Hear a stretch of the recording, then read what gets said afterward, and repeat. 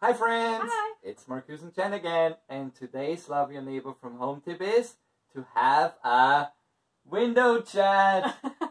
Sometimes you just need to pop your head outside for some fresh air. If you live in an apartment building like we do, or have a house nearby, try window chats. yeah, so having a window chat is really simple. You can just stick your head out Hi, neighbor! and neighbor. say, hello neighbor. this can be spontaneous, but it can't be planned. and it's helpful to see other humans during this time. So try a window chat today. Yes, and don't forget to follow us on Instagram under Love Your Neighbor SF and on Facebook under L minus Y minus N. N. Bye. Bye.